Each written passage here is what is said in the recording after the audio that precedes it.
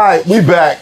My expert opinion, the greatest show in the World, world, world, world, world, world, world, world, Yeah, world. we doing we doing some amazing things here. Hit that like, hit that share, let everybody know you in here. Doesn't cost you any paper unless you's a mother. Hater, hater, hater, hater, hater, hater, hater, hater, hater, hater, hater, Hater, hater. Take my hater, hater, take my hater, hater, hater, take hater, hater, hater, take my hater, hater. Don't be one of those! Hater. Hit the subscribe button. Ah, we got something special for y'all today. Mecc, What up, bro? how you doing? My shoulder's kind of messed up, so I gotta do that. I'm trying to tell you. You gotta stretch first. Wow. Rest in peace, young cheese. Yes. Stop. Rest in peace, Young stop Cheese. it. Philadelphia, stop, it. the Condolences and prayers go out to Gillie, Gillie. Wallo, and his whole family.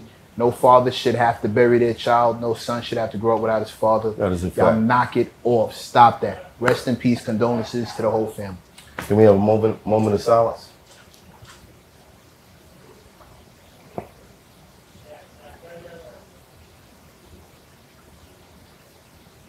Thank you. Yeah, that's a tough thing. We'll get to that. Um, Sean Bigga, Peace, everyone. Great day. Happy to be alive. God woke me up this morning. Let's do it. oh, why you got that suit on? You know what? One of us got to represent. Somebody has to dress like a grown up around Somebody. here. Oh, please. Uh, uh, Chastity, what's up? How you doing? Hi. Half an hour, that's crazy. Yeah, half an hour, that's crazy. Yo, Hey, what? Come on, don't do that. Don't hit me how with you the, doing, champ? Don't hit me with the. don't hit me with the. yeah, yeah. I actually feel like it's a boom shakalaka. But everything is good. Everything is great. Happy to be here. Happy to be free, alive. Just as uh, Bigga said, and everything is moving exponentially as it should. Positive vibes, positive vibrations, and we're gonna keep vibrating higher and higher. Dope, dope. Now, if you are unfamiliar with the man sitting next to Champ, he catches rattlesnakes with his bare hands. That's all I have to say. That's all I have to say. And he's also running for president. We uh, he's uh, a member of a family that America has loved for so long. Um, unfortunately, there's been, you know, a lot of controversy around his family, but he's here to tell his story. So, welcome, Robert F. Kennedy.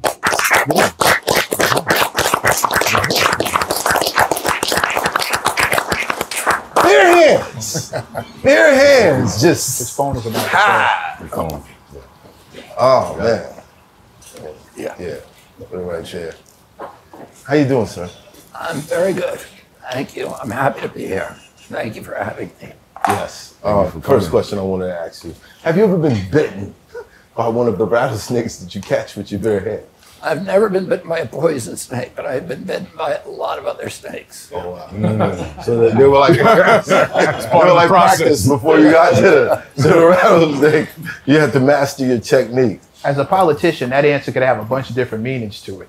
Been bitten by a bunch of different other guys. That's how I heard it. Yeah. Metaphorically, yeah. That was my first. That was my first. Is is that so? Wow. Well, that's so too. I, I've been bitten by literal snakes too. Yeah. I was with my kids in Ecuador one time on a plantation or a banana plantation, and there were canals in it, and they were taking the uh, when they caught the snakes in the canals, they would throw them into a cage, and so there were about twenty or thirty of them in a cage, and I reached in to grab one of them, and a lot of them bit me all at once. Why? Why? Why? Why? Why? But the- Why? But they, you know, what? they bite, uh, these are like little anacondas and boa constrictors. When they bite you, they leave their teeth in you. And, and some of those teeth didn't come out of my hand for over a year. What? Wow. Did you know that? Yeah. Did you know that the teeth do that when you reach for the snake? Yeah, I, I did, but I, I hadn't had that experience before. I was surprised about how many of them decided to bite me at the same You're time. surprised. Wow, that's a lot. They were like, "It's a Kennedy, get him!"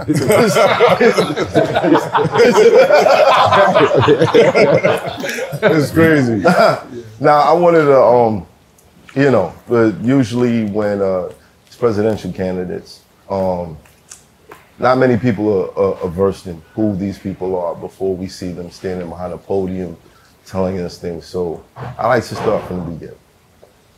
Um, your childhood. What, what were your earliest memories like? So I'm one of 11 kids. I'm the third uh, of 11 kids. Um, my father was Robert Kennedy, who was the Attorney General when I was born. he was an attorney who was, and he was working for my uncle, John Kennedy, who was then a senator. Right. And I was born in 1954, and this was, uh, and my uncle ran for president in 1960. Right. Oh, I um, and I remember that campaign very well. I went out to Los Angeles for the convention. It was the first time I'd ever stayed up all night. Okay. How old were you? I was at that time I was seven. Wow. Oh, and there's pictures of me in the convention with my brother playing with a snake on the table that I caught. It's been a lifelong thing right here. No problem. Right. So many questions. Uh, just gotta leave alone. So my uncle was attorney general. My father was uh, um, was president, and that you know that was at, at the time at a time when the, the their principal preoccupation was the civil rights movement. They were you know fighting uh, to get uh, James Meredith. They sent twenty thousand troops down to get James Meredith into the University of Mississippi. Um, they sent troops to Alabama, sixteen thousand troops to get. Uh, um, uh, Veronica Malone and, to, and five other students into the University of Alabama. They were in a fight with George Wallace, who was a segregationist. He famously vowed segregation now, segregation forever uh, as his sort of campaign slogan. And he was their nemesis. Um, and they, uh, and they, you know, they, they got to play an important role in making this country a true constitutional democracy for the first time in its history. I was saying to somebody the other day that I, I was born in Virginia at a time when there was still Jim Crow law, so it was illegal, for example, for a black man to marry a white woman or vice versa. Right. And I had, we had a groom, a, a, a, like a handyman who worked for us, who became very close to me because um, I spent a lot of time out hunting and trapping hawks and other animals. And he would drive me around the state of Virginia. He was a, had been a Seabee um, in World War II. Blacks weren't allowed to fight. Black men were not allowed to fight in World War II until the very, very end. Right. Um, but they could they served in the military, but they usually served on construction crews. And he had been in a construction crew in the South Pacific. He was about six foot five, extremely intelligent, uh, very articulate, and um, and dignified. But when we drove around Virginia, I, we when we stopped for lunch, I would have to go into the diner and buy food for both of us, and then come back and eat it in the car together because uh, because of segregation laws. He one time asked me to buy to come with him to Solana Village, which is a little shopping uh, area, like a village near where, where, where there was a shoe store Right. and because he was not allowed in the shoe store, and I had to go in, give the give his size to the salesman, and bring out the shoes, and um, and uh, he tried them on on the sidewalk, and and if they didn't fit, he couldn't bring them back. At that time, um, it was very common for black people to have corns because of that problem. Because once they tried on the shoe, they could not hand it back. So if it was too tight, and you would see at that time a lot of black people that had cut uh, pieces out of their shoes, you know, to alleviate the pain. Right. But you know, my father, my uncle got to play this very important role with Dr. King, working with him. They organized together with him the um, the Civil Rights March in 1963 when he gave his "I Have a Dream" speech. Um, my father um, then, you know, continued to work with Dr. King after my, my uncle was killed in '63. Um, his uh, he had uh, he, he had been in a, a war with his own CIA and with his intelligence apparatus, and um, he was uh, he was killed in Dallas, assassinated in Dallas in 1963. Yeah. I, um, he didn't want to go to the Vietnam War. So he sent his his uh, advisors honored him and his intelligence apparatus. He fired the heads of the CIA right as soon as he came, became president because they tricked him into the Bay of Pigs invasion. And he knew that they had lied to him. And he came out of a meeting that night and he said, I want to take the CIA and shatter it into a thousand pieces and scatter it to the winds. And he fired Allen Dulles, Richard Bissell, and Charles Cabell, the three top guys of the CIA. But he was surrounded by an intelligence apparatus and military that wanted to go to war, that considered war with the Soviet Union at war with Cuba, both um, inevitable and advisable, Right. desirable. And he didn't want to do that. He sent, they wanted to send 250,000 troops to Vietnam, and he refused. He sent 16,000 advisors, so he never sent a combat troop abroad. He told his best friend, the primary job of a president of the United States is to keep the country out of war. And he refused to send combat troops to Vietnam. He sent uh, Green Berets to advise the Vietnamese. Some of them did fight, which was against the rules of engagement. A month before he died, he asked for a, um, a, he heard that one of the Green Berets had been killed, and he asked for a casualty report. And his, his aide brought him the report and showed that 75 Americans had died. And he said, That's too many, I'm pulling them all out. And he signed that day National Security Order 263, ordering all troops home from Vietnam. Um, with the first thousand coming home in December. This was October. A month later, he was killed. And uh, a week after that, Lyndon Johnson remanded that order and then ended up within a year sending 250,000 troops over.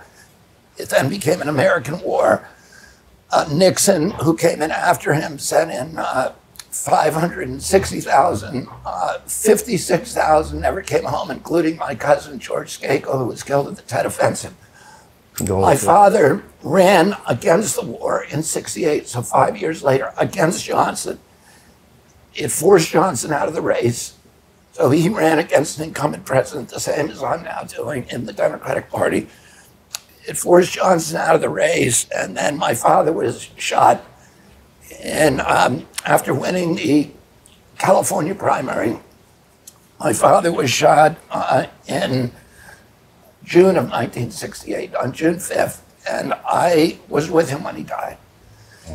I was 14 years old then, Yeah. and I we flew him back on Vice President Humphrey's plane, and we waked him here in um, in uh, St. Patrick's Cathedral. And uh, I remember coming out, the, the, there was crowds that were eight, eight deep on the sidewalk as, far down Fifth Avenue and Madison Avenue as you could see. And when we came back out of the church, and I was one of the pallbearers, there was a black lady who was very, very large, and she um, she broke down. She knelt down on the, uh, you know, like fell down on the sidewalk, and she was holding a handkerchief and saying, uh, shouting at my father, "You did your best. You did your best." And it was a very moving moment for me. Then we took him to to uh, Penn Station, and we brought him down to Washington D.C. on uh, on the train. That train ride is supposed to take two and a half hours. It took seven and a half hours because there was two and a half million people on the tracks. And it was, uh, it was a whole cross section of the American experience. And I was a 14 year old boy riding on that train with all the people who would have been part of his government. There was poets and there was economists and writers and priests and rabbis. But the, the crowd along the track was a cross section of the entire American experience. And all the major cities um, in Trenton, Newark, Baltimore, Wilmington, um, we, we crawled through the train stations at maybe one mile an hour because there were so many people in the station, all black faces. They were singing the battle hymn of the Republic, Glory, Glory, Hallelujah, which was the same hymn that they had sung when, when Lincoln had died and they brought him back to Illinois on the train. And um, in the countryside, there were whites and they were, you know, people in military uniform. There were Boy Scout troops standing at attention. I remember passing a little league field where all of the people, the players on both sides, were standing at attention, holding their gloves at their chest, the coaches, all the people in the stands. Uh, there were, uh, I remember outside of Wilmington looking down on a field, and there were six nuns standing in the back of a yellow pickup truck, and they were all waving their rosaries and handkerchiefs at us as we passed. People were holding signs that said, Goodbye, Bobby, um, pray for us, Bobby. Um, and they were holding uh, American flags, and there were hippies, there were people in military uniform. It was, uh, uh you know, and then when we got to Washington, President Johnson met us there, and you know, and and then drove us in a convoy up past the mall. And at that time, on the Washington Mall, there was probably six or seven, maybe eight thousand men encamped. My father had been communicating with Dr. King. And at that time, the Vietnam War was robbing the, the poverty program. Mm. And Dr. King broke with the rest of the civil rights movement because he said, we need to be opposing the war. That has to be because, and, and the rest of the, you know, the, uh, even Walter Fauntroy and Ralph Abernathy and many of the other leaders of the civil rights movement were telling him that stay in our lane we need to focus on civil rights. Don't get involved in the war. And he said, if you can't separate them, because that war is robbing the, the poverty programs at home, but also it's black people are fighting that war. And they are going to, and the, and the violence is going to come home. You cannot be an imperial country abroad and still be a democracy at home. It's going to turn us into a surveillance state, a security state, and the violence is going to come back. And, you, and all of the issues, the oppression, uh, the hunger, the violence, the deprivation, um, is you can't. It is going to come home. Yeah. So my father and he got together, and they um, they had both worried at that time about uh, about how do you get legislation for the poor. And my father had said to Dr. King, the only way to do it is do it the same way we did with the Civil Rights March. Have poor people come to Washington, camp on the mall, and don't leave until there's legislation, you know, taking care of homelessness, etc. So they had both put together this woman called um, Marian Wright Edelman, who was friends with both of them, and to organize the Poor People's Campaign.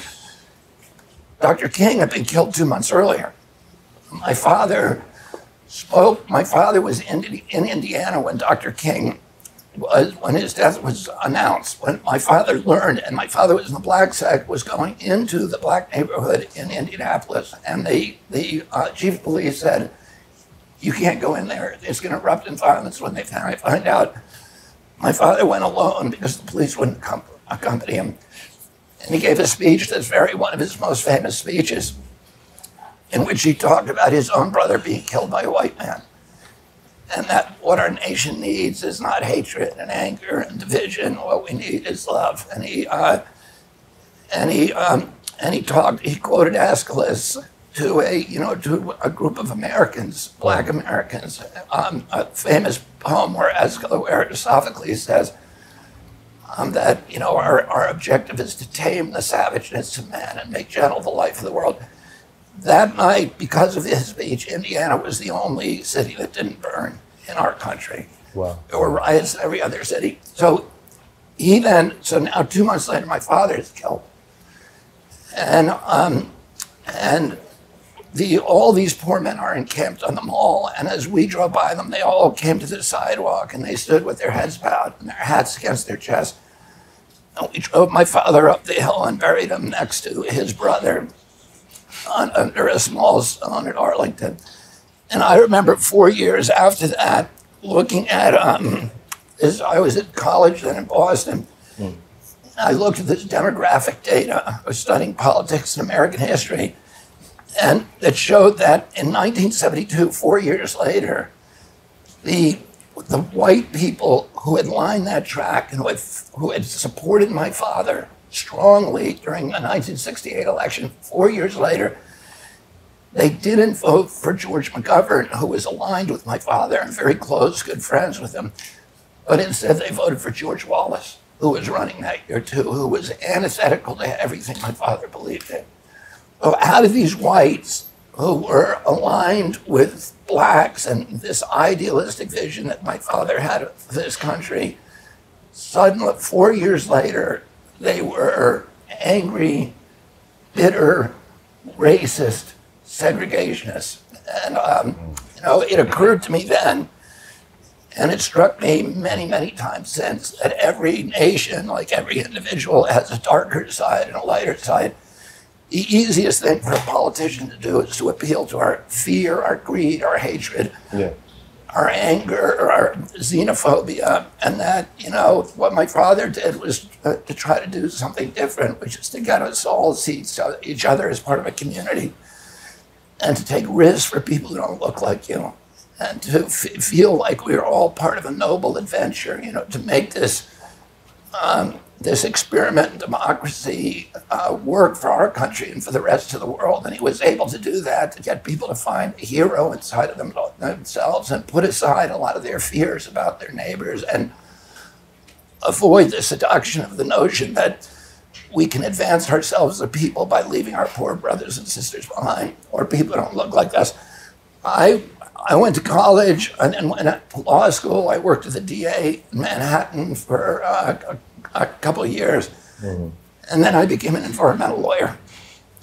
And I, I came, you know, I ended up starting this uh, this group called Riverkeeper.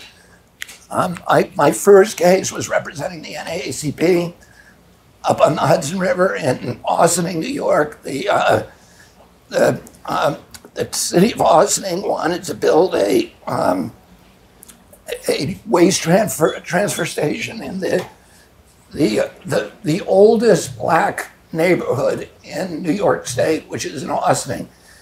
It's a neighborhood that's been there since before the Civil War, and it wasn't they, they weren't poor; they just didn't have the political clout to keep that waste transfer station moving. And they asked me to represent them, and I did, and we killed that proposal. Then I went to work for fishermen on the Hudson River. And we started a group called Riverkeeper. We have on the Hudson, we have the oldest commercial fishery in North America. It's 350 years old. Many of the people I represented for the past 35 years come from families that have been fishing the river continuously since Dutch colonial times.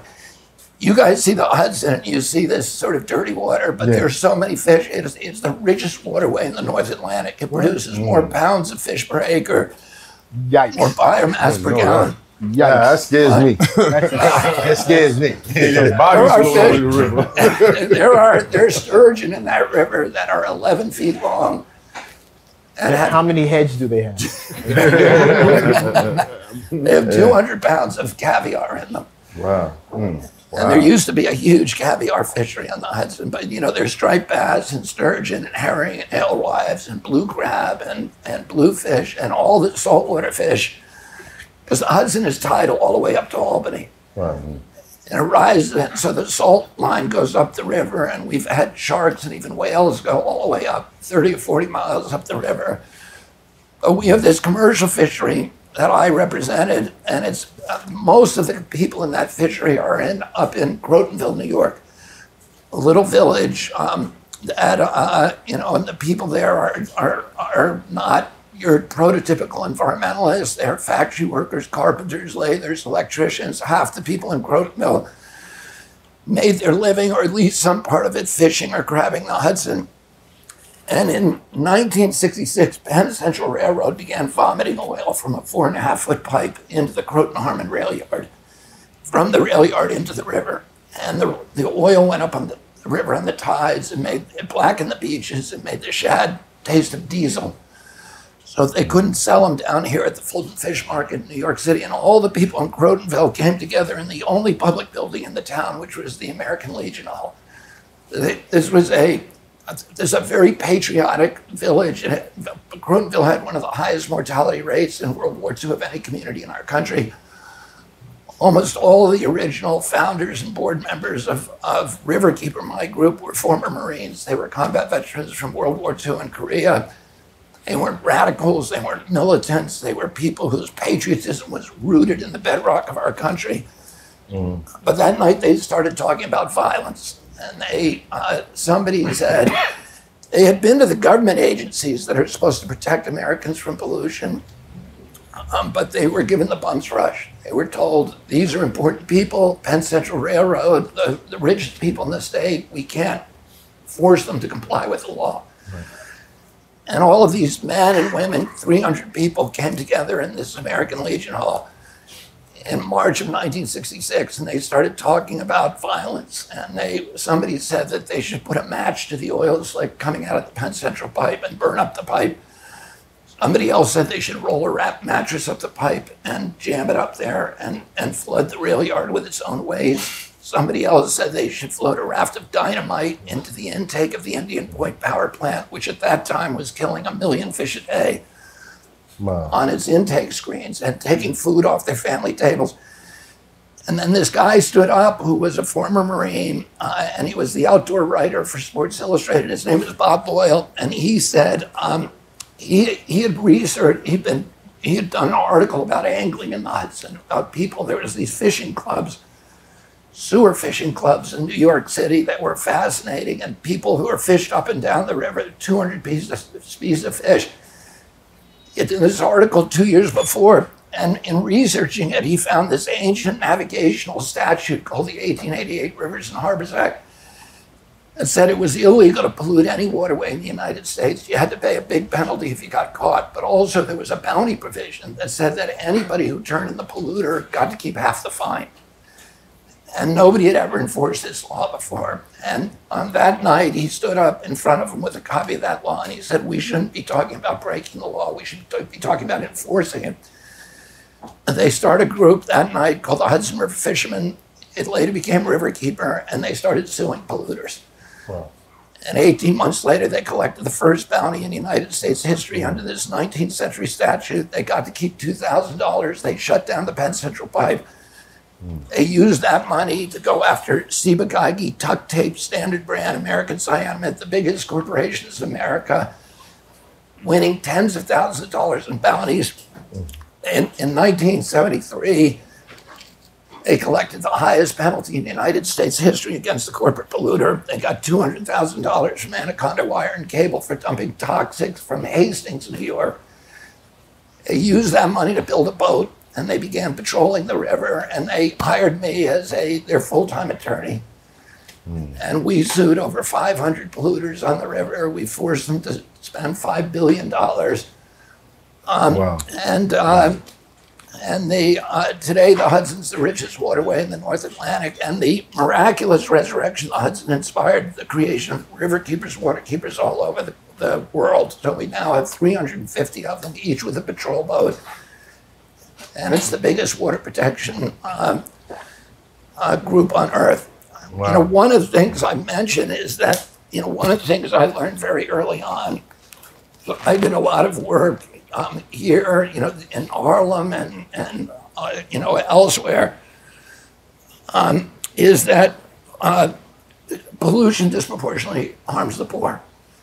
Four out of every five toxic waste dumps in America is in a black neighborhood. The largest toxic waste dump in America is Emelle, Alabama, which is 85% black.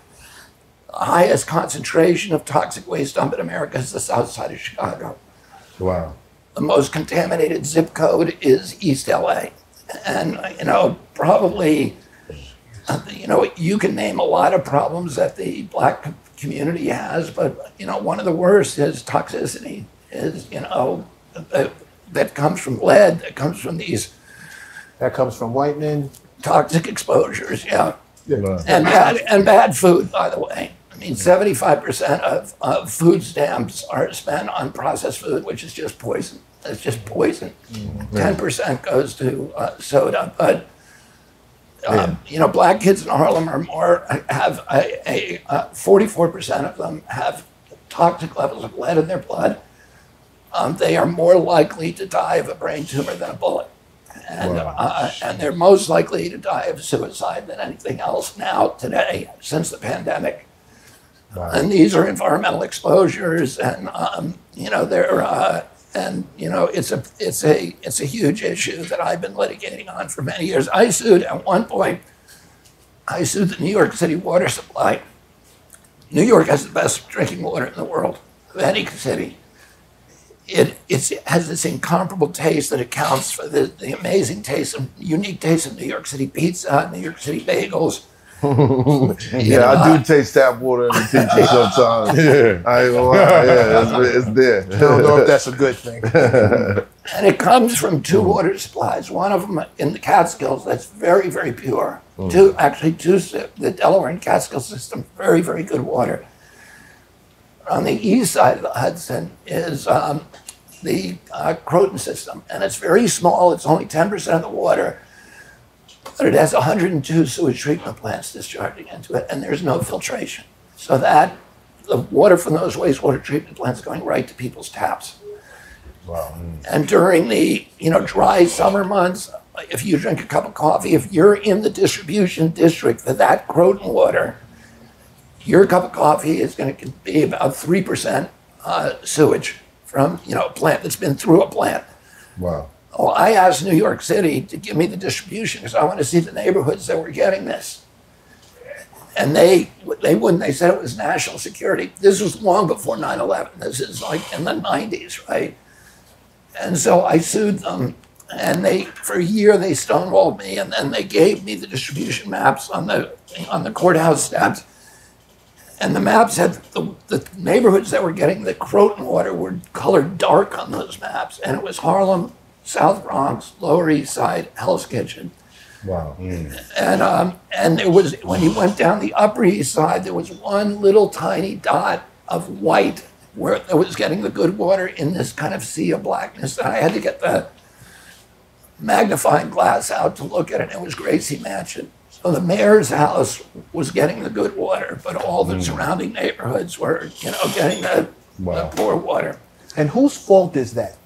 Who's directly to blame for that happening? Who made the decision that this water goes to You, these places? you know what it is? It's it's a it's a it's not so much. I- I don't believe it's from direct racism. I think it's from the powerlessness of the black community. They know people can't complain. You know this sewage treatment plant that's over on the on, in North Harlem on the west side. Mm-hmm. It's called the North River plant. That plant was supposed to be put at the 79th Street boat basin, which is the logical place for that plant because that boat basin was the outlet of a river. Right. And that's where you want the sewage because it means there's a, it, you're, you're going down grade that all, you know, it's the bottom of a, of a gradient of a watershed. So you don't have to put in pumps and it's very cheap because the itself. water flows directly into that plant, mm-hmm. right? The same that all the water in that area. Well, they tried to put it on 79th Street, uh, but the people who were at 79th Street said, we don't want it here. And they were wealthy people. So they could call the mayor, they'd given him contributions, et cetera, and said, you gotta move this. We don't want this here. We, we paid a lot for these properties. The smell of that plant is gonna degrade our property values. Do not put it here. So they kicked it uptown again and again and again, and it finally landed. You guys know where it is, right? Right under almost, you know, almost to the George Washington Bridge. Oh, but that's yeah. not. You know that big plant? It's out Yeah. in the river, Yep. right? And um, but and that neighborhood is not a poor neighborhood. It's black, but it's not poor. It's professionals who live there. It's like doctors, lawyers, you know, people of means, people who own their own apartments, etc. But they just weren't connected, and so uh, they did not have the political clout to, you know, to kick it somewhere else. Right. And that's how, to me, that's how, you know, I see this environmental racism all the time. Right. But I never, you know, I've never found papers where people said, let's put this in a black neighborhood. It's just that's where the, the place of least resistance when it comes to, you know, it, it doesn't have to say black neighborhood on Right. it for it to be racist, Uh, or for for for that to even if it's passive racism. We know who doesn't have the power. We know Yeah. who's not going to fight back. Bunch of people who have means and who are doing well still still end up with a sewage treatment plant because these guys didn't want it. It, it uh, are- are you seeing what you It's- seeing? Oh, yeah, same- I know. For the same reason that there's more police presence in impoverished neighborhoods because they don't have the money to fight the cases. So they exactly.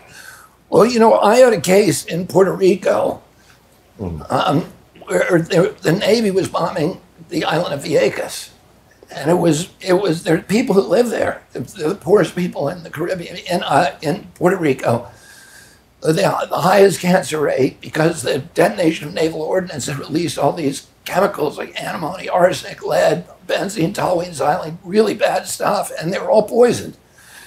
And they had no economy because they were bombing it all the time. There were much better places for them to do that bombing up on the North Carolina coast. But Puerto Rico doesn't have a congressperson. And they didn't have, and this was the poorest part of Puerto Rico, and so it's the same thing. And I, I ended, they ended up putting me in prison down there for in maximum security prison for the whole summer of 2001. I, I ended up down there because I was, you know, from uh, from litigating this case. Wow. Wow. Well, I gotta ask. Go for it. I want to rewind back. Uh, you said there are light and dark sides to everyone. Seeing what what your uncle and your father went through in politics, what's the driving force for you to also take that path? Well, I never intended to go into politics. I never, you know, I toyed with it a couple of times. What did you want to do? Well, I liked what I was doing. Catch I'm like, what? Yeah, I like, you know, I, I like doing working on the environment. Right. I'm outdoors all the time, and I'm, uh, you know, I had a very happy life. I, I, um, you know, and I have a, I, I have a very happy marriage, and you know, my wife is amazing. My wife is an actress, Cheryl Hines, who's on uh, Curb Your Enthusiasm. Yes. And, and yeah, Way to go. Thank you. Yeah, that's how I feel. And um, and then I have so we have seven kids, and I have a you know really good life, and I do litigation. I'm suing big polluters, so I feel good about you know what I do. Like I have a mission. So why take this path? But I because you know I, I've been censored now by uh, by first the Trump administration, then the Biden administration, um, and. Uh, and then um, I saw what was happening with the war. I saw, see what's happening with the Democratic Party, that it's abandoned, you know, the, the ideals that my father had, that my uncle had. And I, um, I felt like I was in a unique place to be able to challenge that. So, um, and that I, whatever happened, I needed to talk about it. I needed to tell people, you know, this is not right, what's happening. You know, Democrats don't censor people and the Democratic Party is not the party of war. No, and and you know, we're, listen, we give 113 billion dollars to Ukraine. We topped it off in March. Yeah. So that same month in March, um, I have a buddy who's a commercial fisherman who's worked his whole life as hard as he could. He's got a lot of injuries, and the kind of business that he had, he doesn't have a pension. You know, he had his own business. Oh, he was on. He's been on um, on food stamps. He's getting two hundred eighty-three dollars a month from SNAP, and he was got a phone call, an automated phone call. And by the way, two hundred eighty-three dollars doesn't go so far. No, you know, yeah. for a month. okay, no. it's like nine dollars a day. Yeah. And the price of food, because of paying for all the wars, the price of food, you know, is, is going up 76% in two years. Of, of, they tell you the government says the price of food's gone up 20% in two years, but for, for good, decent, uh, basic foods, chicken, dairy, milk, di- uh, dairy, eggs, 76%. So my friend getting $283 a month and trying to live, he got a phone call, automated phone call the first day of March saying his food stamps have been cut by 90% to $23, um, uh, $23 a month. 30 million Americans got that call. 15 million Americans got their Medicaid cut that month. The same month, we send top off our aid to Ukraine, 113 billion. If we weren't sending that to Ukraine, we could feed these Americans. And um, and that same month, we print 300 billion dollars to pay off the Silicon Valley Bank because it failed. So we have a lot of money for the people who are rich and for the military industrial complex. Uh, but for, you know, 57% of Americans could not put their hands on $1,000 if they have an emergency. And 25% of Americans are now hungry. Um, and, you know, we, we, uh, we need to get our priorities straight. Right. And we didn't need to have that war. The Ukrainians said, we, we forced Ukraine into that war. We should have just minded our business. They not only said, yeah, if we had minded our business, they had already signed a peace treaty. They had a peace treaty called the Minsk Accords that everybody had agreed to. Zelensky ran, got 70% of the vote saying that he was going to sign it. It left all of Ukraine intact. It just protected the Russian, ethnic Russians in Donbass, uh, protected them so they could speak their own language and they wouldn't be killed by the government, which we installed. We, you know, we paid for that coup in 2014, put our own government in, and they started killing Russians. So they had settled it. And we went in and told him he couldn't settle it. And then in April of 2022, just after the Russians invaded, the Russians wanted to settle it. And they only sent 40,000 troops in. They wanted us to come to the table. Zelensky signs and Putin sign a, a peace agreement. And Putin starts withdrawing all of his troops. We send uh, Boris uh, Johnson over there, the, the, the, the uh, former prime minister of England, just to kill the agreement and say, we don't want to settle, we want a war with Russia. When, when Biden was asked, why do we, we doing this war, he said, regime change in Russia, that's our objective. That's not good for the Ukraine. We, my son went over there and fought because he was he's idealistic. He didn't tell me where he was going. He went over there. He joined the special forces unit. He was a machine gunner. Um, was in the Kharkiv offensive, and you know, um, and you know, risked his life. And now, 350,000 kids have been killed from the Ukrainian side alone. And it's a war that should never have happened. That we, you know, we uh, the the story that we're told that you know um, that was an unprovoked invasion by um, by Putin is not the accurate story. There's a, another story, and that is that the U.S. wanted this war. Lloyd Austin, the same month in April when we sabotaged it, Lloyd Austin, who's the Secretary of Defense, was asked by um, uh, by the press, why are we in this war? And he said, because we're going to, we want to exhaust the Russian army and degrade its capacity to fight anywhere else in the world. And we don't have to kill Americans. You know, he didn't say this, but, but earlier position papers had said we should draw Russia into war with a country like Afghanistan or the Ukraine, where you know their soldiers are going to be dying. We'll provide them the equipment and uh, um, and will exhaust them. They, and that's not it, it's not a good outcome for uh, for uh, you, for Ukraine. Right. By the way, the, the same people who are engineering the Ukraine war are the same ones who engineered the Iraq war. The neocons, Victoria Nuland, the same, uh, the Iraq war. I don't know how old you guys are.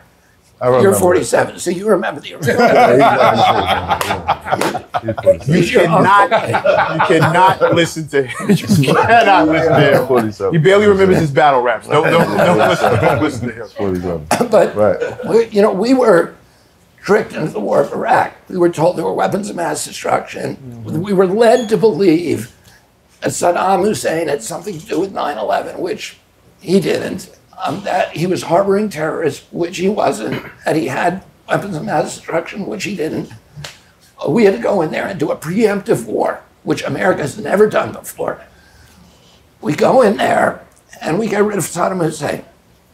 It cost us, in the end, that war led us into Syria, Yemen, Libya.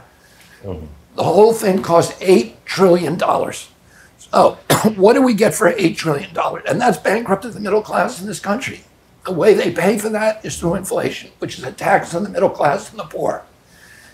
And what do we get for that war? Well, here's what we got Iraq is worse off than we found than, it, than it was under Saddam. We killed more Iraqis than he ever did. We killed between 600,000 and a million. Iraq today is just a, is an incoherent nation. It's a battle between Shia and Sunni death squads. It's not a safe place to do business or to live. We've pushed Iraq into a proxy posture with Iran. So Iran is now controlling Iraq, which is exactly the outcome we were trying to avoid. Right. We created ISIS. We drove 2 million refugees to Europe. And, you know, the riots that are happening in France now are those refugees. Yeah. And, and Brec, uh, Brexit, you know, is from that, that, uh, that immigration is what drove, you know, the Brexit and broke up Europe. Oh, these are the outcomes. It's the same same way with Bin Laden. Exactly. Yeah. These, that's, you know, the outcomes that we got for eight trillion dollars, and now we don't have a middle class left in America, and that's really our strength comes from. Our strength comes from the middle class. Two questions. Who benefits and what can we as a people? And I know, you know, people ask this question all the time, but what specifically can raise the awareness where the people in these neighborhoods, the people who who are not uh, in in in connection with the the politicians, what can we do? What on the ground level? I'm talking about from step one, whether it's pick up a phone or or go to this website or or stop supporting this. What exactly can we do to change? Uh, I mean, uh, uh, people need to be educated. And Martin Luther King's time, he was educating people and saying, you know, 45% of every paratrooper movement um, uh, unit in Vietnam is black. And you know, today, for you know, if you're not a sports star or a rap star like yourselves or hip hop stars, but living the easy life like yourselves, if you Is that what this is? I missed it completely. you know what what is your choice if you're in this neighborhood and you know i, I admire you so much because you told me that you never took a drug you know I- and uh, and that uh, you know coming from uh, from where you came from from a, you know with all the challenges that takes incredible character you know that is that you are a man of immense character so uh, Thank you. you know it's true Yeah, it is, And- but thank you. and so, but what what is available to a kid who wants to escape, you know, the, the, this life? Well, if you're not a, you know, an NBA athlete, and if you're not a hip hop star, your your main choice is the military. If you don't want to go into a gang, you go into the military because they're going to pay for your education, they're going to pay for your housing, they're going to give you a health care program. But the the the, the, the fix is that you got to go kill people, and that is going to that is going to cripple you. Yeah, I have family members who who who kind of struggle with that. They, they've been in the military for years. You know, they had to work these operations where when they come home, all they do is drink. Yeah, mm-hmm. and they've got you know Yeah. PTSD. Yeah, And the same kind of drugs that these kids are looking to escape. These vets are coming home looking to escape. They don't want to think about what they just Yeah. happened. Who's to blame? I think so many more presidential and, and, and candidates, period, across the across the map would get so much further if you would tell us this is the guy who made the decision to do X, Y, Z, A, B, and C, one, two, and three. Yeah. Or these three guys. Like when you tell us about somebody putting a plant where it shouldn't be. Right. Or you tell us about somebody saying, hey, we're gonna go do this war regardless It- of what you think, or, or we're gonna It- it spend this money. Falls under the category of they. They, right. Who's they? Who made the decision to say, hey, we're gonna spend this much money on the Ukraine instead of feeding people Yeah. who actually Or- need it? or Who's or that guy or that girl or that group? Who's, who are they? It's called the military-industrial complex, and and uh, uh, Dwight Eisenhower, who was uh, the general in world, you know, the commanding general of the Allied forces in World War II, then ran for president. And the day that he left office, January seventeenth, nineteen sixty-one, my birthday, my, I, and I was in Washington. Three days later, I'd watch my uncle take the oath of office. Um, but Eisenhower made the most important speech probably now in American history, where he warned America that if you, um, that if we were not careful, um, that the military-industrial, this permanent warfare economy and machine that we created, would destroy our democracy. would subvert all of the institutions that we've created, would impoverish our country and turn us into a surveillance and security state. And um, my uncle, he actually tried to make peace with the Soviet Union, but the CIA thwarted him. Allen Dulles thwarted him. And my uncle comes in. What was the guy's name? Allen? Dulles. He's the guy who, he was the big villain in American history. He's Allen the guy Dulles. Okay. who turned the CIA into this, you know, machine for overthrowing democracies and, um, and you know, turned it against the American people. And he was, you know, he then lied to my uncle about the Bay of Pigs. My uncle said, "Why are we going down?" Because they, they're, my uncle comes into office, and they said, "They said first thing you need to know is we're about to invade Cuba. It's a secret." We've trained 2,000 Cuban troops. They're, you know, they're, uh, they're armed, they're dangerous, and we're going to send them down and we're going to overthrow Castro. And we're going to need U.S. military support. And, and my uncle said, I'm not doing that. Why? He said, I don't like that Castro has a communist government, but that's Cuba's business.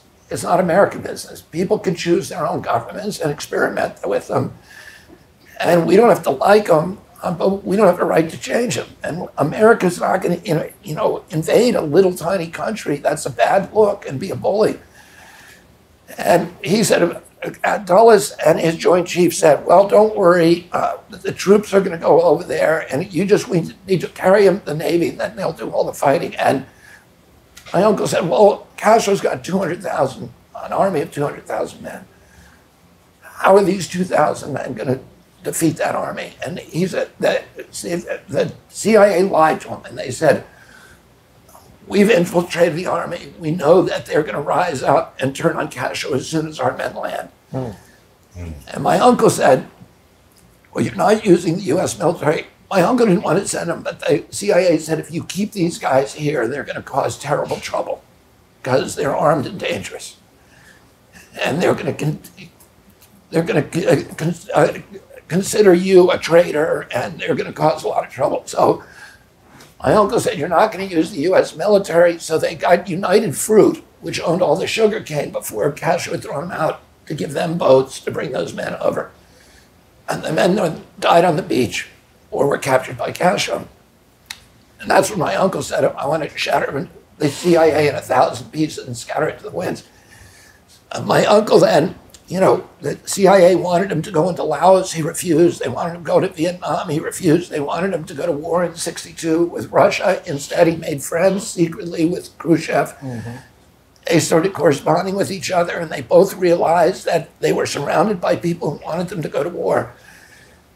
And, uh, and my uncle kept, kept them out. Uh, but the military, but then my uncle's killed, almost certainly by the CIA and the military industrial complex. My father then runs against them. He also gets killed. Um, again, almost certainly by the CIA. The man who actually fired the shots that killed him was a CIA asset, a guy called Eugene Thane Cesar. Uh, Lee Harvey Oswald, we now know, was a CIA asset. Yeah.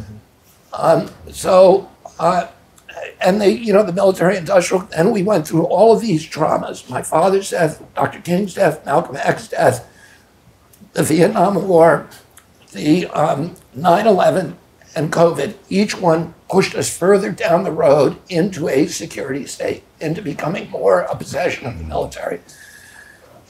When Mitch McConnell was asked about, well, you know, why are we spending 113 billion in in uh, Ukraine? He said, uh, well, the uh, he said, don't worry about it because that money is not actually staying in Ukraine. It is going to military contractors. It's it's just going over, you know, technically going to Ukraine, but we're actually just buying, you know, going to General Dynamics and Yeah, other right. And he said, so it's all American companies, and that's good for our country. Yeah. And that's who's That fighting is the their rationale, and that and they're, they're- over there. They're killing Ukrainian kids, so nobody here is going to complain because nobody here is, you know, wa- watching the coffins come home. Right.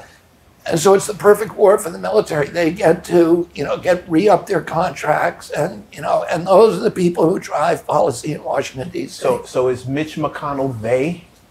He's part of them. I mean, Joe Biden is they. Because when, no, when you Joe say Biden is Joe dead. Biden when you say the, the military industrial complex, I'm still looking for names. Like where the my Victoria Nuland, Joe Biden, Antony Blinken. Those are the people who are dri- who are driving it. Those three are the, those those those three names. yeah, those three names. Okay. So when you get in, Joe Biden will go and you'll Yeah. fire the other guys. Is that, is that No, the no, plan? yeah, all of those. You know, I, I will reorganize the CIA, and I'm gonna. We have 800 bases abroad. You know how many the Chinese have? One and a half. I I, the Russians may have one. I don't know, but we have 800, and each one is just a platform for a new war. And the function of the CIA is to provide the military-industrial complex. This my uh, my uncle discovered this with this a pipeline of continual new wars, you know, to uh, to fuel that, and and that money is being paid by the American middle class. That's why we don't have a middle class left in this country. Wow. Okay, Okay, so now we know who they is.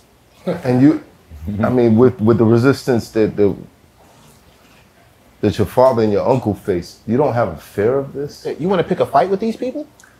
You know what? I am uh, much more scared of than of dying. I am much more frightened that my kids are going to grow up in America where they don't have rights, and that you know we're we're now just addicted to permanent war.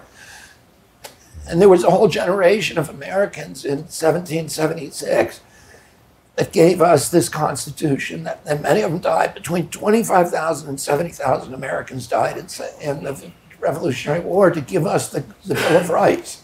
Now, and then we created this incredible middle class, and that's all being stripped from us now. And so, you know, I think all of us have to be willing to make, you know, take risks and make sacrifices so that our kids can have those same rights.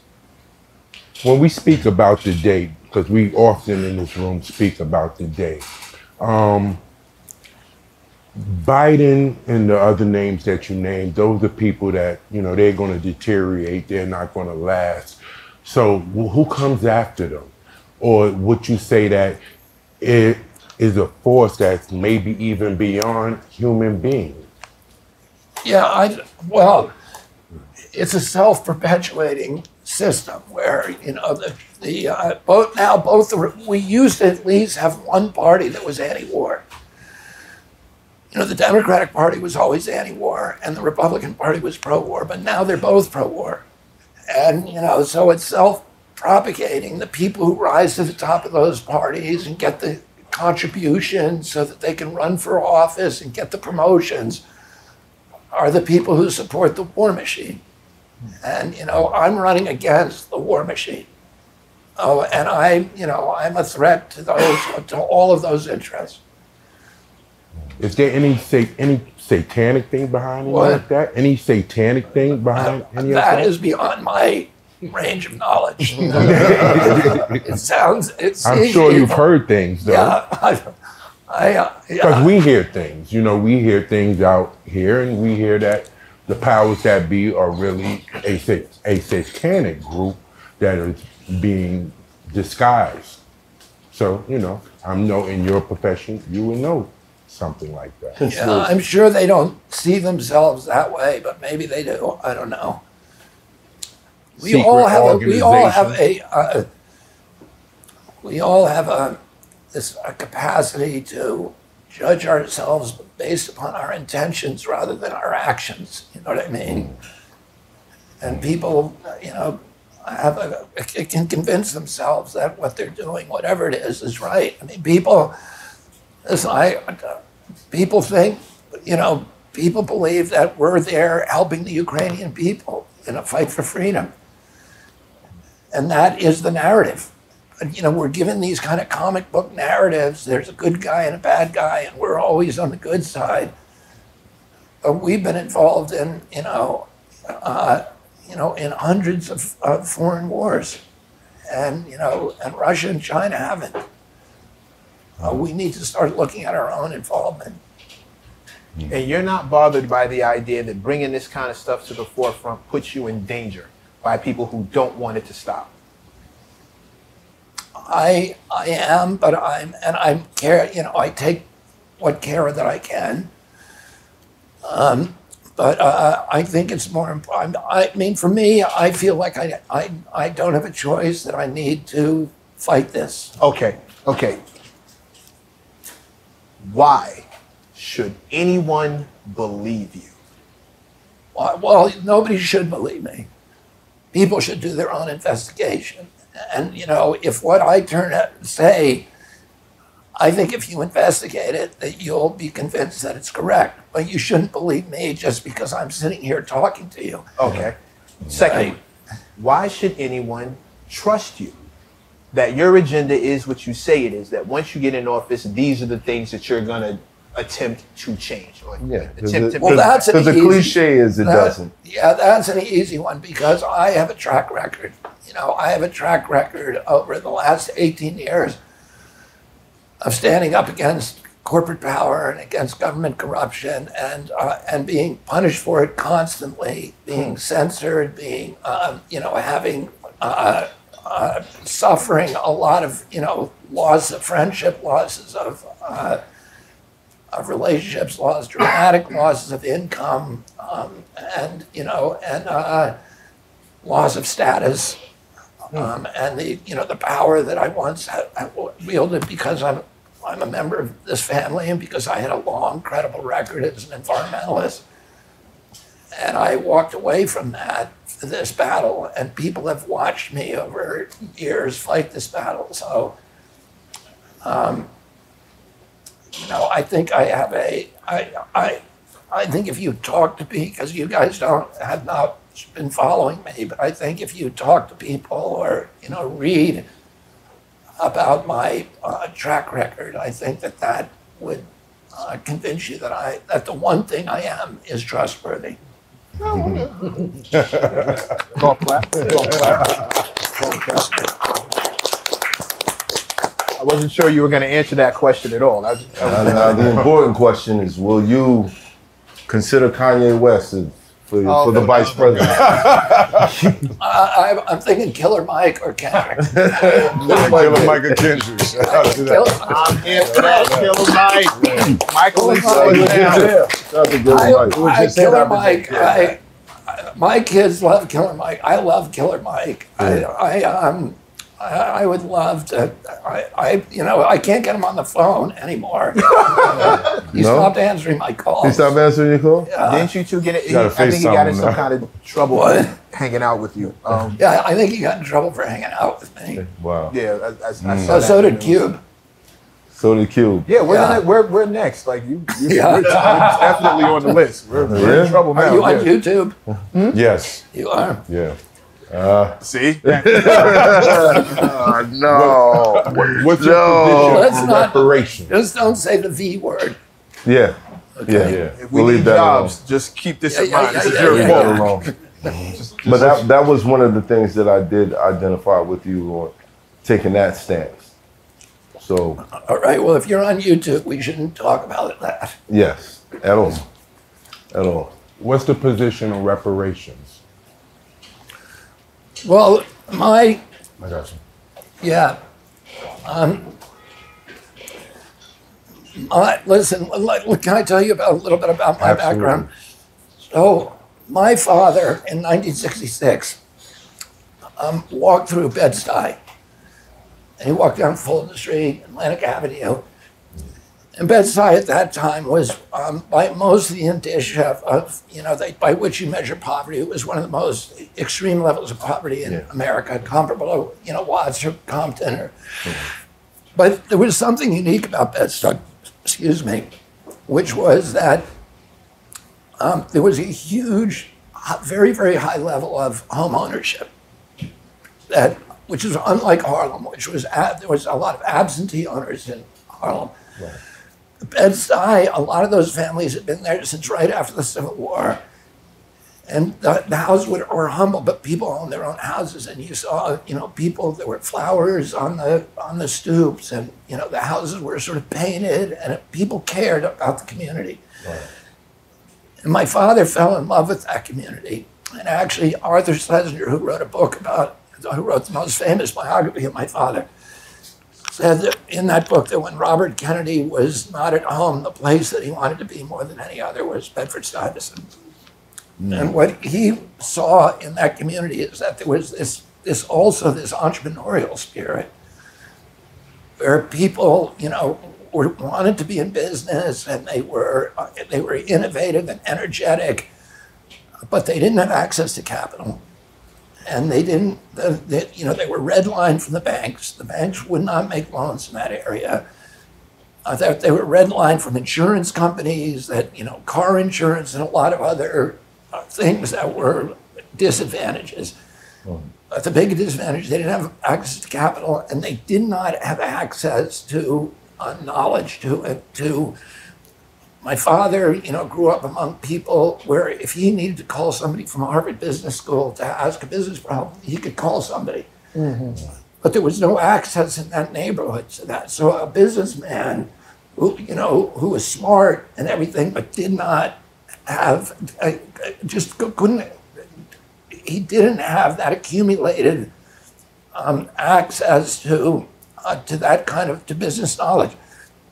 So my father put together a group of top level businessmen, Andre Meyer from Lazard Frères, Tom Watson from IBM, and a bunch of others, and got them to make a commitment to come to Bed-Stuy regularly and to mentor businesses. And then uh, when my my father died, I went on the board of Bedford Stuyvesant Restoration. We built Restoration Plaza over there.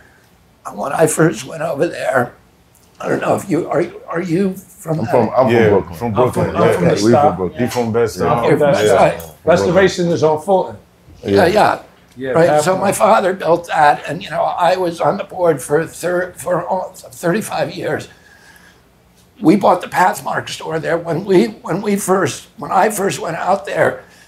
The closest grocery store was 75 blocks, three bus rides. So a, woman who was trying to feed her kids had to get on three buses, get her loads of grocery, climb, climb back on those buses at 75 blocks. And we got Pathmark to move into Restoration Plaza, which is, it changed a lot of people. And then we built a theater there. We built, you know, sports centers and um, and uh, and uh, um, and you know, and we we started uh, giving access to microloans, to grants, um, to uh, opportunity um, uh, districts where you know it would be lower taxes. And when I first started going out there, and when my father went, all the businesses on Fulton Street were boarded up. There was nothing. and you know, I have now because when I married Cheryl and moved out west to California, I I, I stepped down off the board at that point. Um, but uh, the last time I was there, Fulton Street was thriving. There were, you know, all of these storefronts were were crowded, Yeah. and and that is good not only for the black community, but it's good for everybody. And for so when you ask me about reparations, I, I'm going to tell you one other thing. I spent 20% of my time um, representing Indians during my career in the United States and Latin America and uh, in Canada. And a lot of the Indian tribes at that point were getting gambling. And there would be arguments, fights within the tribe about how do you distribute the, the gambling money.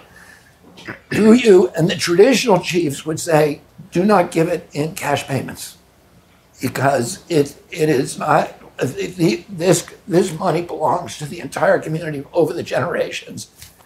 And, um, and it should be uh, distributed that way.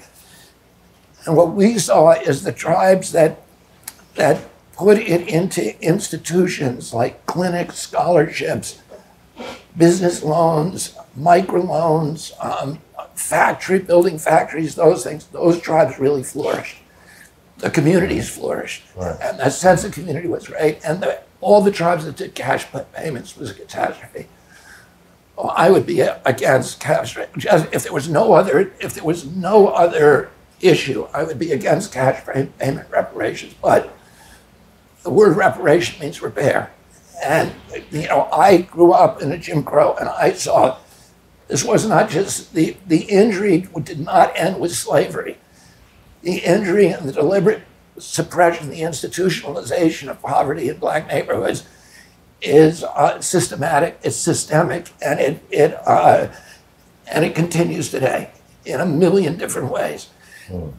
And we need to rebuild the, the uh, black communities. And, and so that, you know, but my approach to doing that would be to do it in a way that I think is going to be most effective, which is what we did at Bed-Stuy.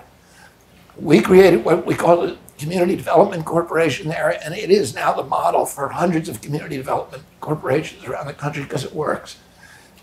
And that it, it's, it's less likely to contribute to the polarization between blacks and whites because it benefits everybody. Everybody, even people who are Trumpers, who I see all the time because I represent them in lawsuits against big ballooners.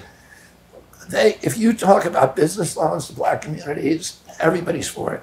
You know, everybody wants business to work and to flourish. And so for me, that would be my approach to, to do everything I can uh, to make. And you know, I was in Cleveland a couple of weeks ago. COVID wiped out the black. The, the, the, this is what I mean by systemic racism. In 2008, America got wiped out by the say by the loan, you know, by these exotic in, uh, loan instruments, um, the, you know, the, like mushroom mortgages and balloon mortgages and all that. Yeah. For 10 years before, tho- those same banks have been trying that out, experimenting in the black community with those. And it stripped the equity out because a lot of those tho- those homes, like in Bed-Stuy, they were in those families for generation, and you could go get a mortgage, increase your mortgage, and you can mm-hmm. start a small business, buy a sewing machine, do whatever, you know. And but then the- these, you know, the, the, the banks were going to these families and saying, "You got a great home, you know, we'll give you this new kind of mortgage. You don't have to pay anything for the first five years, and it's all going to be great." And they signed on to them. They got sucked into it, and then they lost the home, and that stripped equity out of the community. And then they, and then the hospital consolidation happened. The same thing. They tried it at first out in the black communities, and they closed all the community hospitals. And then COVID happened. COVID, they closed 3.3 million businesses without due process, without just compensation. 41% of black owned business will never reopen. Many of those businesses had three generations of equity in them. You had three generations, like the, a barber shop like this, may have three generations putting, you know, caring for this business, nurturing it, growing it, and making it a growing concern. And they got wiped out. And I was in Cleveland uh, three weeks ago in one of the poorest districts in Cleveland. It's called Lee Harvard. And the whole place boarded up. It is, it's like a dystopian nightmare. There's a couple of businesses left, and I met with the owners of those businesses. I'm very, very interested in black owned businesses. And, um, and they said, we are going under right now because we cannot get loans because inflation hurts the poor, but interest rates hurt the poor worse Right. because the local banks um, w- will not loan because their the, the value of their treasury bills has gone underwater and they have to retain their they have to hoard their liquidity and so it, because to avoid being taken over by one of the big banks none of them making i sat in the room across from a woman who is an, an elderly uh, african american woman who's at a sausage company that has been in her family for five generations. And it is a, it's a local institution, 80 years. They've been operating this country, and she's shutting it down, not because there's a problem with the business. She needs a loan to upgrade some of the machinery, and she cannot get a loan anywhere. And uh, you know this, uh, and that the, the the community is being systematically stripped. I I, I'd say 20, I think I saw a statistic recently, by 2040, um, there, the, the value of equity, equity in black communities is going to be zero. Because there's a systematic stripping of equity out of black, of ownership, Right. of wealth and and that is that is the same thing as slavery ultimately. Yeah. If you got no equity in your community, there's nobody even go, going to go to, to this barber shop because there's no cash. People get their hair cut at home.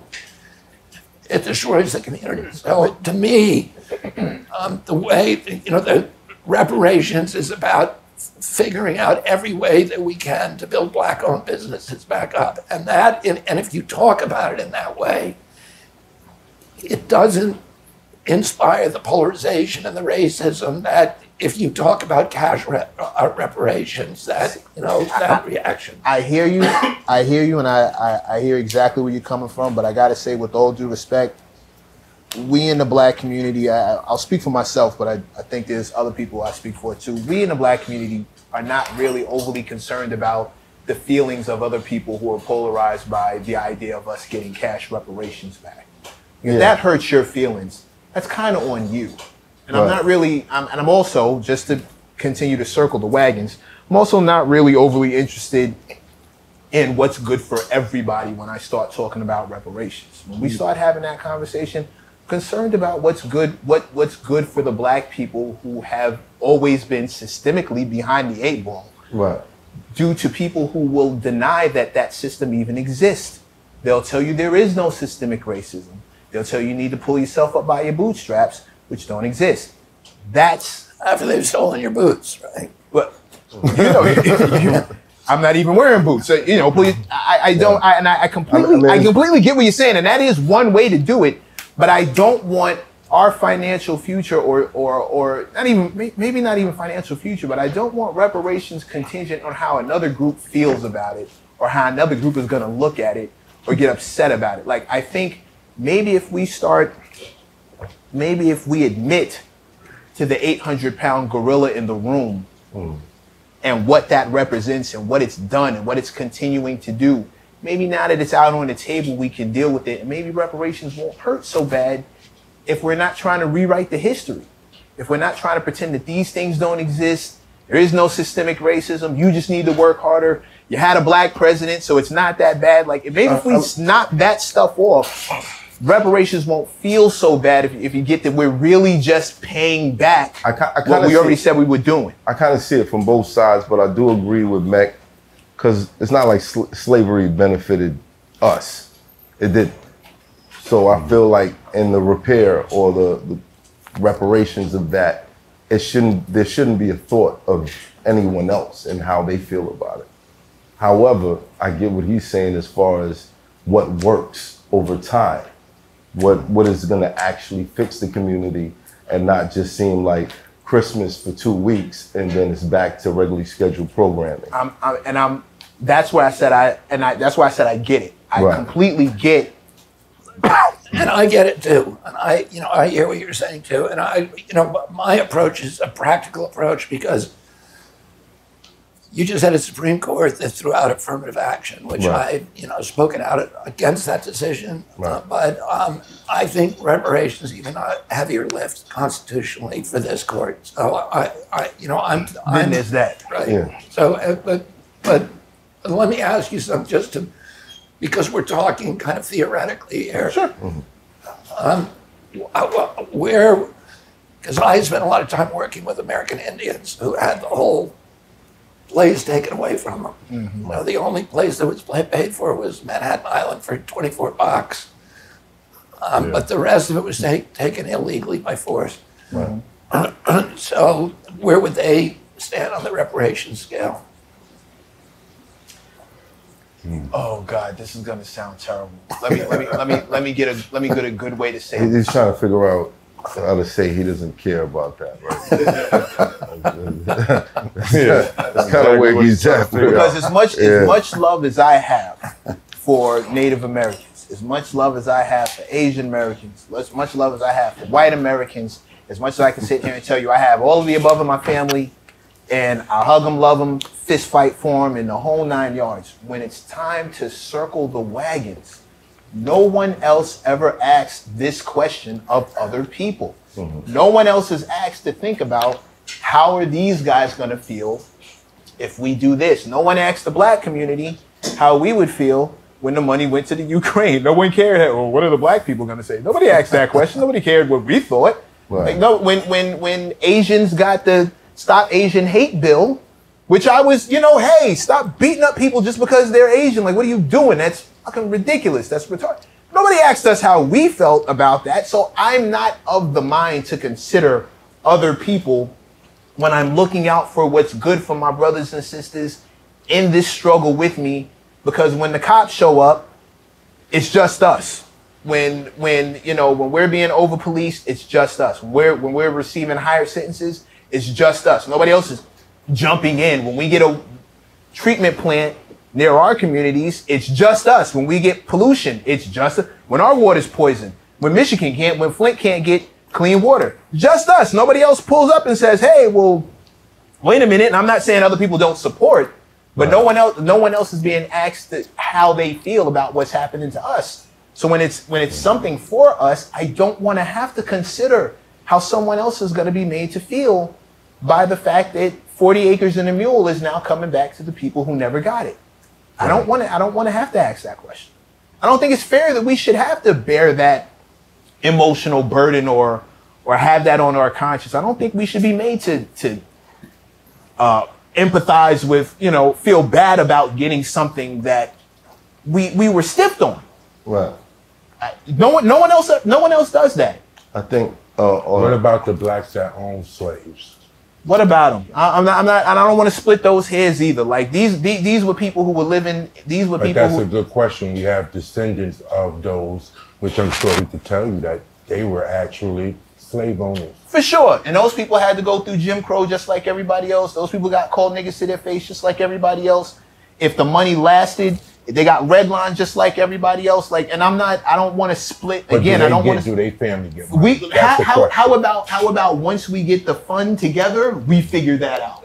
But we figure that out. So my position is just a little bit.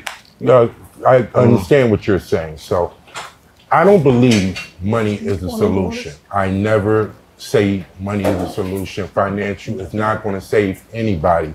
I can give you a million dollars right now, and you're still going to die. You're still going to be faced with the facts of if your spirit and your soul is right. So money is not the solution. When you give the Indians the money, like you said, if they messed up spiritually, they're going to go out and get drunk.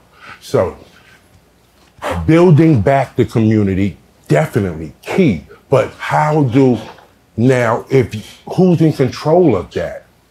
And like you said equity how does that benefit the direct families?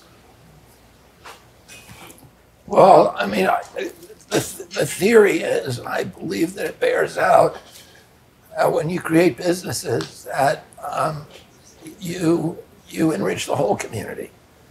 You look at this barbershop, you know what they and the community that it's created in here, you know, through the existence or a grocery store, and how important it is.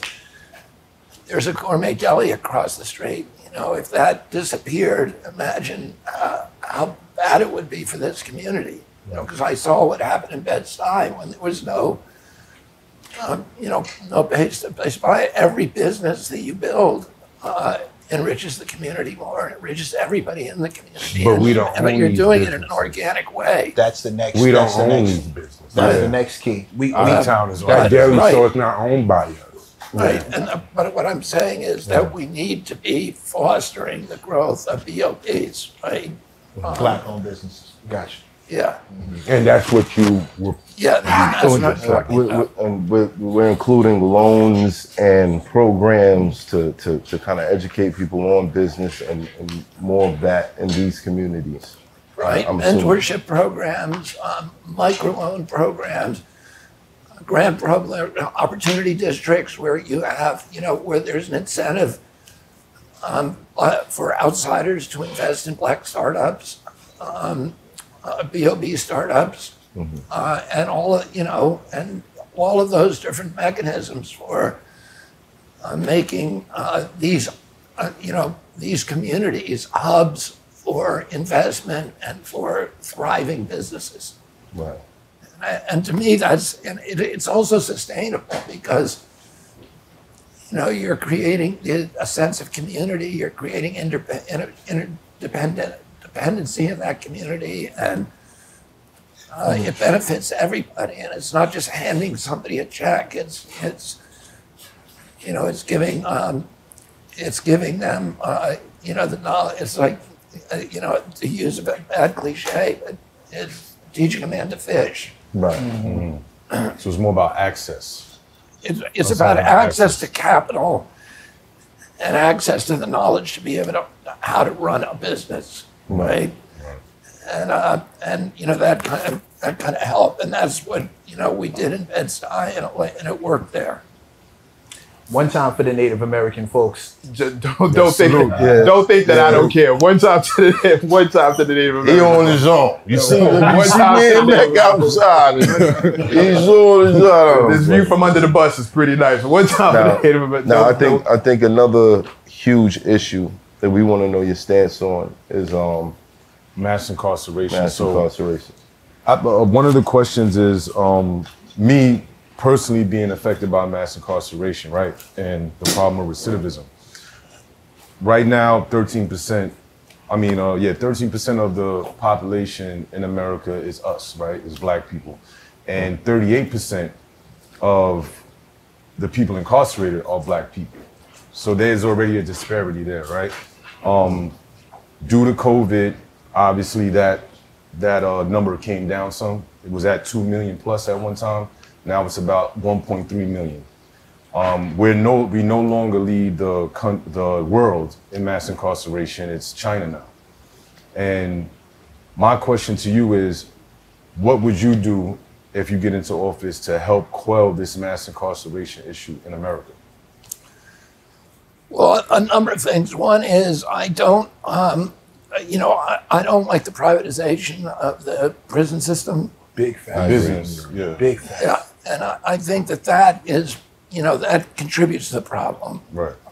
and it also uh, contributes to the sort of degrading conditions in those in the prison. Um, a, a quarter of those prisoners, and you're right, a, a, a, a black American committing the same crime as a white American has three times the uh, the, the chance of going to jail. Yep. So for the exact same pri- crime. And the sentences alone. And Yeah. yeah, and with a much longer sentence, it's the same thing. Um, a, a quarter of those, and a quarter of the people in prison are for nonviolent drug offenses.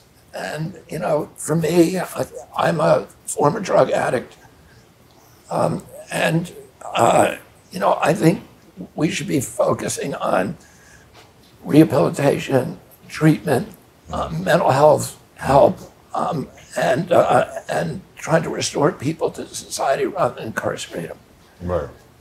And So you, so it would be something where you would incorporate certain programs that are programs, yeah, but- but rehabilita- right? when- rehabilitation instead of instead of the instead of, solitary incarcer- confinement. instead of incarceration. right. And uh, you know, one of the things that I I- that I you know it's kind of my Peace Corps. My uncle started the Peace Corps, and it was this kind of branded program.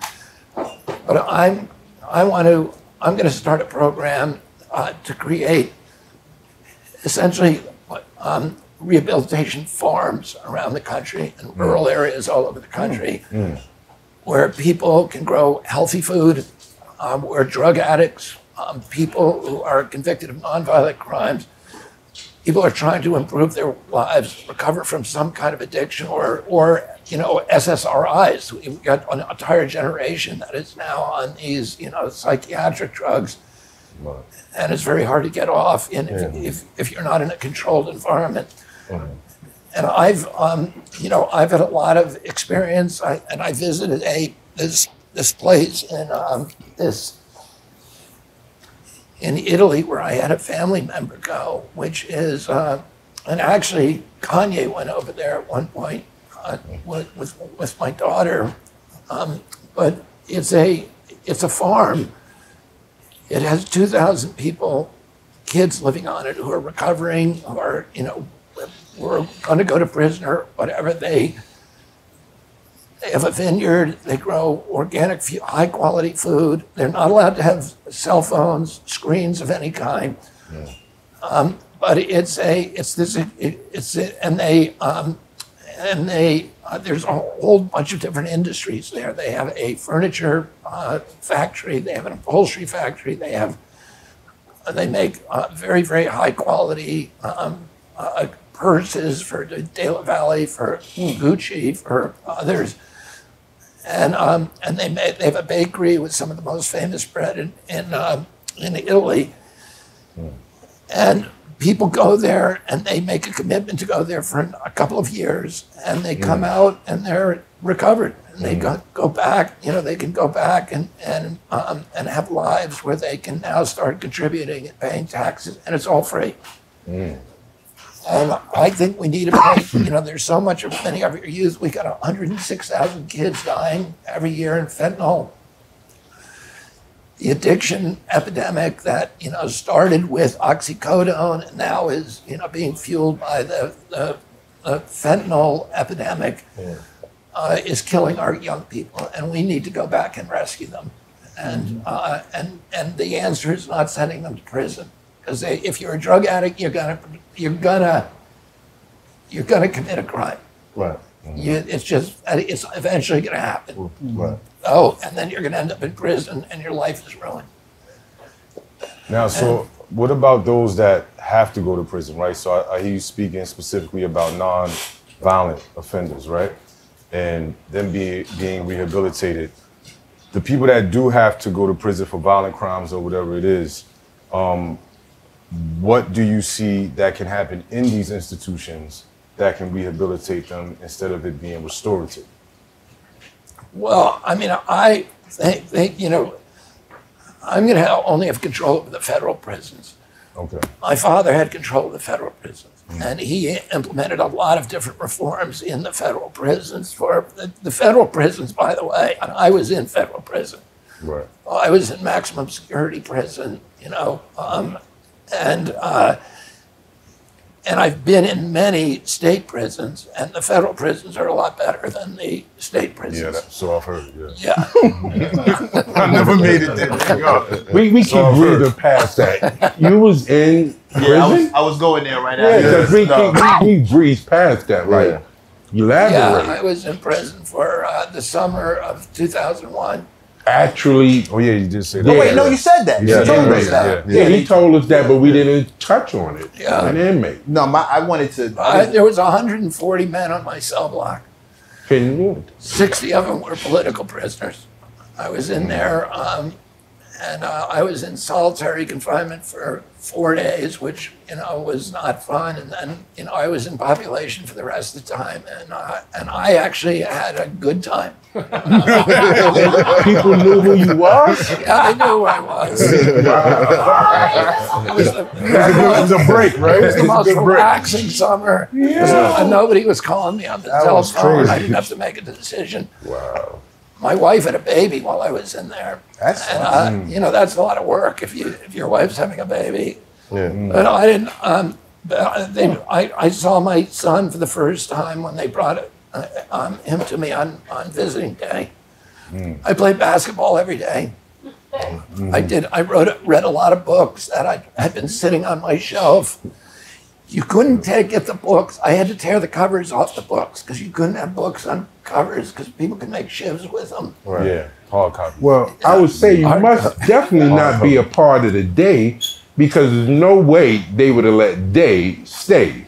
So he must not be a part of the day. Day, You know a what I'm saying? the day. Because Day could make Yeah. a phone call and, you know. like that. Uh, hold on a second. Kids, don't listen to the presidential candidate. Go to jail. It's not fun. No, it's not. Let's not put that out there. My thing, the reason, the reason why I asked you these questions, just to circle back real quick, is because I was in state prison, and I know a lot of people Where- have been where in were state you? prison. In New York State, I was in Where- Fishkill. Oh, Fishkill, Fishkill. New York. Yeah, Beacon, I've New been York. in that prison many times. Really? Yeah, because were you? Yeah. I I had a friend who was in there. Were you? Were you the one on the south side of the highway or the north side? I was on the north side, so you know it's like two Okay, jails yeah, in one. So I, I was up the hill one. and down the hill. Yeah, the, the old one, that old Victorian jail. That's Yeah, the, that's still there. That's the one I've been to. Mm-hmm. I, I never went, but I had when I first went to work for Riverkeeper. The uh, somebody had given us a um, a farmhouse up in the Hudson Valley that was owned by the Department of Environmental Conservation, and they said, okay, you guys can use that as your office, uh, but you have to fix it up. And they said, well, we'll give you some prisoners. And I was put in charge of, of the, the prisoners. The outside clearance guys. What? The outside clearance. Yeah, and so they That's what that came, they, you know, they had, there was guard there with guns, but I was telling them what to do. And one, one day, one of them escaped. Oh shit. and he went down to the railroad track and then he walked all the way to Brooklyn on the way railroad track. It was about 40 miles. And then his father got him and tied him to the bed. And uh, they came back and picked him up. Disrespect. Wow. What year was this? This was like in 80, uh, Oh, okay. 84. All right. And um, I had them, they want, I was supposed to uh, paint a barn. Uh, But, um, and they painted it up to about seven feet, but they didn't want to go up on the ladder. None of them wanted to climb the ladder. so I, I had to paint the upper part of the barn myself. Anyway, So They, uh, no, I, I get where you're coming so from. these But are some of your friends in Fishkill. I, is this some of them? No, they, these were some of your guys. They were all Oh. from, they were all from Yeah, but I was like two years old. When, Yeah. When was, He's not as old as I am. yeah, definitely not. But the reason I ask these questions, um, and specifically for the the state institutions ac- across the country, is because what I realized when you get your education in prison, it changes the mindset, right? I'm someone who was a recidivist who constantly went in and out most of my life more than being out in the free world. And once I got my education, I got a bachelor's degree because it was an opportunity uh, available to me. It changed my way of thinking. Yeah. And now, not only myself, but a plethora of men and women who do it, they're not going back. So my my question to you is: Is that something that you think you can institute as a, a, a foundation in these state prison systems in order for people to be paroled? Like you have to get an associate if you want to be paroled. Or Yeah, I mean, like I, I don't know how I would do that with it. We, I would, well, certainly, and that's an inspiring story really a very convincing story. And I'm certainly, and my father devoted himself to that. In fact, when he died, I have a friend um, who's in a 12 step program with me when I first came in, and he was a prisoner in Sing Sing in Ossining. And he said that the day my father died, that they all wore, um, that he had been an addict at, at that point. He had, and they all wore, he was, um, they all wore, a lot of the prisoners wore black armbands because of the you know care that my father had taken to try to provide those kind of opportunities to people in prisons across the country. It's something that I want to do. It clearly is uh, cost efficient. If we're educating people and stopping recidivism, what better outcome can you have? Exactly. Uh, that you know is an inspiring story. If I do get elected, I want you to you know call me up and hold me to that. I'm ready to promise. lobby for that, man. Uh, Seriously, I'm ready to lobby I'm going to give you my cell phone and Boy got a job. That's right. there we go. Great to do. What did, you get, what did you get your degree in? Uh, liberal arts. I have a bachelor's But there's liberal not a lot of money in that, is there? I'm not in that lane at all. But the great thing about getting an education there is because it helped me with critical analysis skills. It helped me be a better writer. It helped me see things way differently in the free world and inside. It helped me build amazing businesses. So it wasn't so much for the actual liberal arts degree. It was more so for the skills. He actually was helped build a business while he was inside. Yeah, That's flourishing now. And still What- While I was services people who kind are of inside. business? uh, publication business, uh, a social media magazine for uh, prisoners. That's great. Yeah, and it's like all over the country now. and all What, what is it prisons. called? Now you gotta tell. Uh, why it's called YKTV magazine. YKTV. It's an Yes. acronym for you know the the vibes. vibes. You know Right. the vibes. No, I was there. Yeah. but that that's what it's called, and it's an informational tool for incarcerated individuals to stay in tune with the times, learn about laws that are changing. You know, look at some girls too. Um, comedy, exclusive interviews, a lot of stuff that comes. I've from, been on the cover. Yeah, he's been on the cover. Uh, a lot of the guests that come here, we take those interviews, we put them in the magazine, so that way they can be informed on what's on what's going on with some of their favorite celebrities and politicians. I've advertised in it. It's great. He's advertised in it as well. Super Yeah. great. Yeah. I wanted to ask you, you you you you've talked about your addiction issues. Uh, I've never the the only presidential hopeful I've ever heard admit that he used any kind of barbiturate was Bill Clinton talking about smoking weed and he didn't inhale. But you're, you're I inhaled for sure. and uh, that's partly what I'm talking about. Like you're very open about the fact that this is a part of your history. And before the interview really kicked off, you talked about having a hole Yes. Yes. in, in your soul that you felt like. Shout out to Aerosmith that you felt like you couldn't fill. Yeah. Is that what caused you to? Yeah, I mean, a lot of people, you know, I've been going to 12 step meetings for, I've probably been to, I don't know, 20,000 of them. So I, you hear pe- people's stories, and there's a high percentage of people like me who believe they were born with the addiction. And then there's other people who, think that they got it later on in life, that they crossed a line. And once you, you know, they say once you become a, uh, if you're a cucumber, once you become a pickle, you can't become a cucumber again Right. that once you cross this certain line, you, you then you know you can't go back. For me, I felt that um, that kind of gnawing, empty hole from when I was a little kid. And uh, when I, um, you know, the first time I took the pledge, like you did, because you were you were saying at the beginning of the, you know, before we started, Right. I think you had made this pledge to your dad about, um, Right. and that your dad, uh, and your dad said when you, whenever you first do it, you do it with me, and then when your dad died, you didn't do it, which I'm so, uh, you know, incredibly impressed. Well, in the Irish Catholic communities that I grew up in, uh, there was uh, y- there was a tradition of taking the pledge, which is I will never drink, because it was known that our race is disproportionately impacted by um, al- particularly alcohol addiction. It's called, we call it the Irish flu. Oh, and and they would give you in Catholic school, they would give you a pledge pin that you would wear on your collar, and it was I took the pledge. I'm never going to drink for my whole life. Very common in Ireland too, and I did that.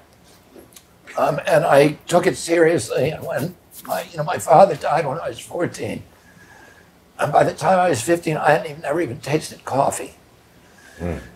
And that summer, I went to a um, a, uh, a party uh, of the elder brother. This is when I was living in Cape Cod. The elder brother of a friend of mine was had been drafted and was going to Vietnam, and there was a going away party for him, and uh, he didn't want to go. And at the party, there was a melee, and he ended up hitting a cop and going to jail. And he didn't go to Vietnam. But I was hitchhiking home from that party, and an older boy picked me up who I knew but not well. And he offered me LSD. And LSD had come to that town that night. This was in 1969. So, um, and I wouldn't have taken it, but there was that there was a comic book. I would, we read there was a little store. The only store in our town was a news store. It sold ice cream, candy, and then the comics. And the comics would come every Tuesday. And my favorite comic was a comic called Turok, Son of Stone, which was about these two Indians. And uh, you know, you're nodding your head. I can't even believe that you've heard of it, but Turok. Yeah, I've Yeah. definitely heard of Turok. Turok, yeah. So uh, uh, it's not Tupac, it's Turok. I know Turok, man. I know Turok. Okay, that was a good one. That's my nickname. Turok. So anyway, the, the, the week before, there was an episode where the Indians had eaten like peyote or something, and they had had hallucinations. They'd seen dinosaurs. They were like, it was like they had gotten transported back in time. Time, yeah. And uh, and so when this guy offered it to me, I said I had an interest in paleontology when I was little, and I said if I eat that, will I see dinosaurs? And he said you might, and I, and so I took it, Right. and I uh, had this you know incredibly vivid hallucinations, and then in the morning, you know, it lasted all night, and you know, and I got in trouble. A lot of people in the town took it that night, and I um, and I was walking home from the town about three miles in the morning, but I was crashing on the drug, and I was getting depressed and remorseful, and telling myself, "I'm never going to do this again. I did something that was wrong." And I uh, I got I got near my, and I had to go home and face the music because I had violated my curfew, and my mother was, you know, invented tough love, uh, and I was going to get in a lot of trouble. And she and I, um, I saw these boys in the woods, and uh, and I went in to see what they were doing, and I told them, and uh, they they saw me, and I said, I'm really crashing on this stuff, and they said, try some of this, and it was, and I've been saying to myself, I'm never going to take a drug again and they offered me a line of crystal meth. And I snorted it, and I felt great. And that was really the template for my addiction for the next 14 years. How long? 14? 14 years. Uh, I, I got sober when I was 28. And, but constantly um, saying, I'm not going to do this again, and then not being able to keep promises to myself. And that you know, I had iron willpower in other parts of my life. Like I gave up candy for Lent when I was 13. I never ate candy again until I was in college. And I, I gave up desserts the next year.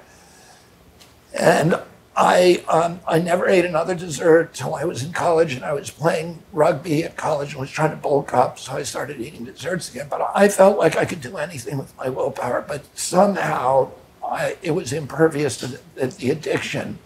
Uh, It just didn't work against it. I was cunning, baffling, powerful. And the most demoralizing part of addiction is not being able to keep contracts with yourself. Hmm. Hmm. Of telling yourself, I'm going to do this, and then doing it, or I'm not going to do that. And then, you know, four hours later, and believing earnestly, sincerely, honestly, I'm hmm. not going to ever do that again. And four hours later, you're doing it, and you don't know how it happened Right. and it's uh, you know it's really demoralizing. What snapped you out of it? Well, then I got so I my progression was very fast. Addiction is always progressive, it always gets worse, and I my drug of choice was heroin. So within four weeks of that, I was shooting heroin. And I I had been around you know animals my whole life and and given them hypodermic needles, and it made sense to me. Um, you know that it would be more efficient to uh, to inject the drug. So I I you know I did that, and I was addicted for until I was 28 years old, and then I got sober. I was trying the whole time. I just didn't know how to do it. And I would go for weeks. I would go for months. What was the difference in 28? Well, I got into a 12 step program mm-hmm. and then and I had a spiritual awakening and it was like it was lifted. So and it you know it was it was like a miracle, as much a miracle for me as if I'd been able to walk on water because I had tried, really tried in every way and could not do it on my own. And then I did that, you know, the 12 step programs are designed to induce a spiritual awakening, a, a, a profound spiritual realignment. And, uh, and I had that very, very quickly. And the program, as soon as I committed myself, it happened to me. And I, and you know, it just disappeared. Did you go willingly to the 12 step program or somebody Oh, I was, no, what happened is I got arrested. And I got arrested on an airplane. Um, somebody saw me going to the bathroom. I was actually on my way to a rehab, but before I went to the rehab, I stopped on 106th Street to cop. And then I went out to LaGuardia and I was flying out to the rehab in, in, uh, in Minnesota. But I, you know, I got one last one before going, and Right. somebody saw me on the airplane going to the bathroom with it. And when I landed, and when I landed, the police arrested me. But what I, it was a good thing for me because I could, because of my name, because of my notoriety, I could have never gone into a meeting and, you know, and and and, and spoken truthfully about my life hmm. because I was guarded, you know, and I, I'd been, you know, raised in a family where if you talked about stuff publicly, it would, you know, it would be in the papers. Yeah. And so it was an impossible situation. But as soon as that happened, there was nothing to hide anymore. And I was able to go to these meetings and get, you know, and talk honestly. And, um, and so it was like a gift for me. The arrest, I knew was, was probably the greatest gift I got because it gave me then access to the 12 step programs and to the, Arrest. you know, the spiritual awakening. Yeah. And I want to ask, what was the spiritual awakening, if you don't mind us asking? Well, I'll- I'll tell you what happened is that I I knew, you know, I had been struggling all of this time to quit, right?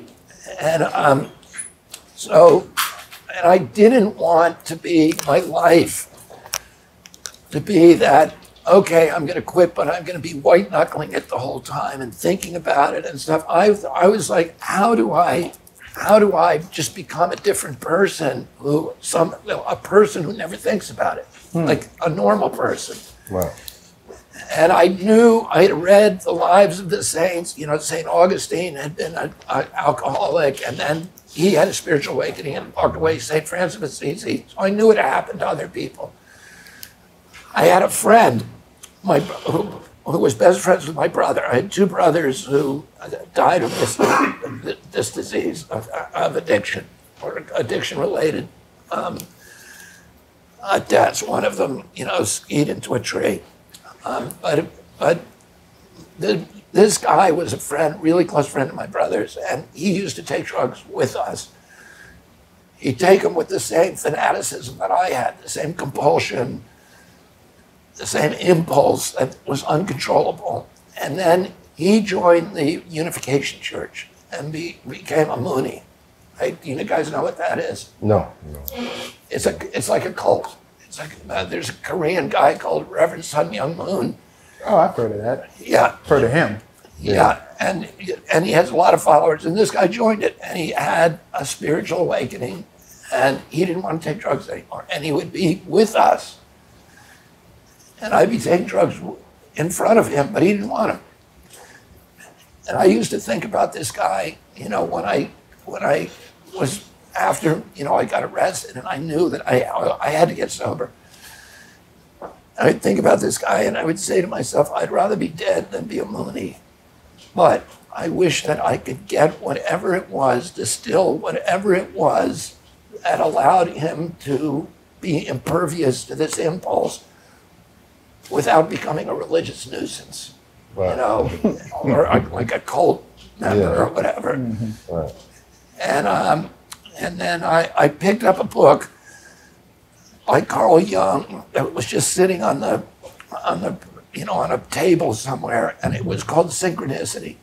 Synchronicity. And the word synchronicity means it means coincidence, kind of. It's like it's the kind of coincidence that happens if you're if you're talking about somebody that you haven't thought about in 20 years. And they show up. And And they, they yeah, they, they show up, the phone rings, and it's that guy on the phone. That's synchronicity. Uh, Carl Jung was, and the reason I picked that, that book up is because there was an album by the police at that time by the same name. I didn't know what the word meant. I started reading it, and Jung was the one of the fathers of psychiatry. He was a um, Sigmund Freud was his mentor. Yep. But Freud was an atheist, and Jung was a deeply spiritual man. He had these incredible spiritual experiences starting when he was three or four years old, very authentic experiences. And his form of psychiatry is very connected to spiritual transformations. And he had had a, um, he had this experience one where, where he was sitting in the third floor of his, uh, of his sanitarium. He, he ran the biggest sanitarium in Europe he was up on the third floor and he's and a, with a patient it was a woman and she's talking to him and she's talking about a dream and he was very much um, you know his his style therapy is very oriented towards dream interpretation Right. she was telling him about this dream and the, the fulcrum of that dream was a scarab beetle which is a creature that is uh, it's a piece of iconography on the on the hieroglyphics in, Right. in Egypt and on the obelisks, the tombs. It really doesn't exist in Northern Europe where he was. So he's hearing while he's talking to this woman, he's hearing this bing, bing, bing, bing, bing on the window behind him. And he doesn't want to turn and take his attention away from his patient. But finally, he gets exasperated and he swings around and he throws open the window, and a scarab beetle flies. flies in, lands in his palm. Wow. And he turns and he shows it to the woman. He says, "This is what you were dreaming about." And she goes, "Yeah." So he th- he thought these little incidents of synchronicity are, are God's way of cutting through the rules and regulations that God has set up, like the rules of mathematics and nature and physics. And every once in a while, he breaks his own rules and comes in and, and taps you on the shoulder. Hmm. And, you know, because the, the chance of that happening are one in a trillion. In a trillion, It yeah. never happened, right? But But it seems so obvious. Like yeah, you just said it, and this happened. yeah, It has to be connected. it has to be connected. Yeah. And And sca- said- scarabs, I believe, they represent new life. Yeah, but, but they, they, have, they have all this kind of spiritual significance, right? Right. But um, he, but he had this. Uh, so he then tried to reproduce that in a clinical setting. So he would put one guy in one room and the other guy in another room, and he'd have them flip cards, and then guess what the other guy flipped. And he thought that if he could, if he could beat the laws of chance, beat the laws of, of nature, the natural law, he would have proven the existence of a super of a supernatural of hmm. some force that was not explained by natural law, by the laws of mathematics or chance or whatever.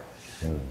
But he's never able to do that. Hmm. So in this book, he says, I can't prove the existence of a God using empirical tools or scientific tools. But he said, having seen tens of thousands of patients come through his hospital, I can prove that people who believe in God get better faster and that their recovery is more enduring than people who don't. Hmm. So, in that sense, it's irrelevant if there's a God up there. If you believe in one, your chance of living a happy life are better. Right. That's what he was saying. Right. And that was really significant for me. At that time, it was much more significant than if, if he had said, I prove the existence of a God, which I wouldn't have believed. But him saying that I can improve your chan- I can improve my chances of recovering, of never having to take this drug again if I believe in God. I said, okay, I'm going to do it. So then I had the problem of how do you start? How do you start um, believing in something that you can't see or smell or touch or feel or acquire with your senses, right? And he gives the solution. You fake it till you make it. You act as if. And um, and so that's what I did. I started saying, okay, I'm just going to act as if there's a God up there watching me all the time, and life is just a series of tests, and that I have to behave myself even when I don't have an audience. I have to do the right thing, right? Yeah. and that and so you know and uh, and I ha- and every day is broken down into like 40 little choices and each one for me now has a moral implication. So when I when I wake up in the morning um, the alarm goes off you know do I lie in bed for an extra 15 minutes with my indolent pornographic thoughts or do I get jumped right out of bed and then uh, when I go, do I brush my teeth? Do I hang up the towels? Where you know when I do I make the bed? That's the most important decision every day. you start yes, out making the bed. Yeah. Do I put the water in the ice tray before I put the ice tray back in the freezer? Right? Do I when I reach into my closet and pull out a pair of blue jeans, and all those little wire hangers fall on the floor? Do I actually go and hang them back up, or do I say, uh, you know, that's somebody else's job? I'm too much of a big shot for that job, right? Do I put the shopping cart where the shopping cart is supposed to go? You know, when when I, or do I leave it in the middle of the parking lot like everybody else does? and I had I had this experience when I was when I first got sober, and my life had gotten very small through addiction, and it started getting big very quickly when I you know when I got sober. And I was running through National Airport, and I was at there was a plane that I was going to miss, and it was mission critical that I got on that airplane. I had to get on it. You know, I would have been late for the appointment, and it was, it was, it was a whole bunch of consequences that would have happened. So I had to get that plane, and I was gonna miss it. And I'm running through the airport, and I put a, a stick of Dentyne in my mouth, and I, I'm rolling up the, the wrapper, and as I'm running, I, I threw the wrapper into a garbage can, and it went, did a perfect arc, swish right in the middle. But Kobe. uh, but out of the corner of my eye, I saw it must have hit something in there because it jumped back out and landed on the ground. But I was like, "Uh, that, that's God's fault because I made the shot. so I was running, running, trying to get the plane, but it, then it just started eating at me. And I got about 50 feet down. And I went, God, I got to go Go back back and pick it up. and pick it up. But that, you know, I end up making the plane. But that to me was probably the most important thing I did that day, because that's, mm. you know, maintaining that posture of surrender. When your life is broken and everything's going wrong, it's easy to be, you know, in surrender to God. But when all the cash and prizes start flowing back in, you know, my inclination is to say, okay, thanks God, I got it from here, and I take the wheel and drive the car off the cliff again. you know, and um, but I'll, I'll tell you the answer to your question very quickly of what happened to me the day that I finished reading that book, um, Synchronicity. I went out to play volleyball, and um, you know, so the synchronicity about all these coincidences, and I go out to play volleyball, and they somebody hits the volleyball in this very powerful, uh, you know, hit, where, where it went up on a kind of an errant flight, and it comes down and it hits the top of the post, and as it's going up again, I said out loud, "That ball is going to get hit by a Mack truck." I said it. I don't know why I said it, but I said it, and everybody heard me say. And then the ball went up again. It came down and it hit the top of a chain link fence and it dropped on the other side. And then it rolled down this driveway for about, I don't know, 50 or 60 feet out into the middle of a, of a little highway. And a big 18 wheeler with a bulldog on the front comes and pops it, you know, bang, pop. That's crazy. Everybody says, everybody looks at me for a second like, wow, Wow. how'd you know Guy's that? a prophet. And then they went on. But, you know, for me, it was significant because I just finished that book, book. and went out, and then it happened. and it was like, okay. So uh, I'm reaching out. it was like, that was a cheap, Yeah. you know, poor man's spiritual awakening, but that's what it was, you know. Right. I mean, If it works, real. Yeah. Yeah. For worse, for real. Uh, you probably can't. it, it opened me to start looking at those things and saying, you know, I should pay attention to those things when they happen instead of just dismissing them. You believe now. Oh yeah. Now I don't have to. Now I, you know, but now I see it, you know, every day. Yeah. You know. Do you believe that you can That change this country? Well, you know, with the way that I live my life, I keep doing the next right thing, and the results are in God's hands. So if God wants me to pre- be president, I'm going to be president. I'm going to do everything I need to do to get there, but I don't have any control over the outcome. The only thing I have control over is this little piece of real estate inside of my own shoes. You know, it's the only thing I have control over. And I got to keep doing the next right thing, the next right thing. But I don't have expectations. Uh, you know, I'm an environmentalist for years. If you have expectations when you're an environmentalist, your, your heart is going to be broken because every victory is temporary, every defeat that you suffer is permanent. You know, when they extinguish a species, when they destroy a special place, it's never coming back. And every time you save something, it's just a new battle because somebody else wants it and they're going to pour concrete on it or pollute it. And I saw so many people just get crushed and, uh, and get broken and burn out. And so I said to myself, "Uh, I'm not going to have any expectations. I'm going to fight. I'm going to get up every day, say, reporting for duty, sir, and I'm going to go out and try to save the Hudson River. Uh, but if I lose the battle, I'm not going to get defeated by it. I'm not going to have any expectations. And, and if you don't have expectations, you never get disappointed. And if you can't get disappointed, it makes you relentless because nobody can permanently defeat you. You're always going to get back up and fight again. And uh, to me, I think that's where my power comes from. Is that I, no matter what they do to me, I'm always going to go back Dude, you got to get Bernie Sanders as your running mate, man. you got to. I'm getting, I don't know, Bernie. I'm bro. getting Killer Mike. Yeah. All right, well, We already decided that, right? Killer Mike in the cabinet, Yeah, Bernie right. Sanders on Tell deck. him, Mike, we already.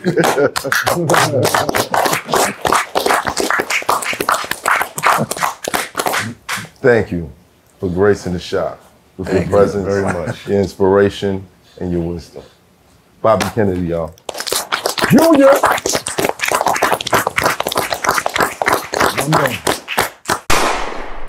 It's hot for trap trapper turn smack rapper. Only smack rapper that you know is smack rappers. Got bars I can hang with the backpackers. Trap star, I don't hang with the